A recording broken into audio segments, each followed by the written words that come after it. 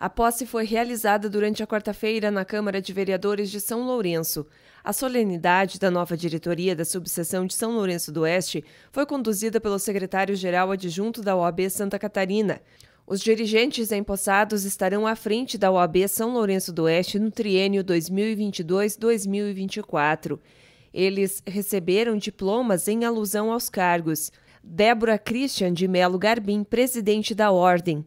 Tomaram posse os demais integrantes da diretoria da subseção, o vice-presidente, a secretária-geral, a secretária-geral adjunta, o tesoureiro, além dos conselheiros da OAB de São Lourenço do Oeste e delegados da Caixa de Assistência dos Advogados de Santa Catarina.